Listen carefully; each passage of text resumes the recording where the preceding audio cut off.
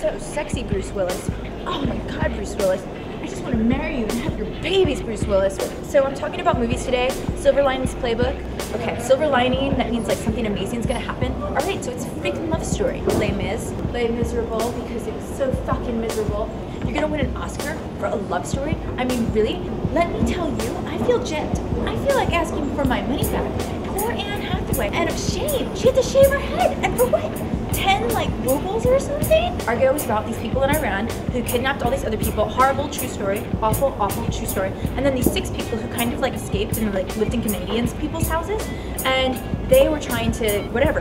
And if there's somebody who's like gonna get nominated for a love story and win an Oscar, it shouldn't be someone like Brad Pitt because he really deserves an Oscar. So Ben Affleck comes in, he takes off his shirt, he's like, oh, I'm gonna be a sexy Ben Affleck. Bradley Cooper? Who are you, Bradley Cooper? But you are cute. And and you know, I'm single, just just so you know. And then he basically like stages everything and makes a fake movie, and then everyone gets saved.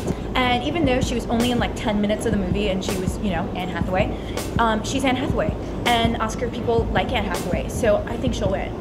Likes, comment, subscribe, favorite, bye. Anne Hathaway, we love you. Catwoman, Catwoman should have won an Oscar. What the hell?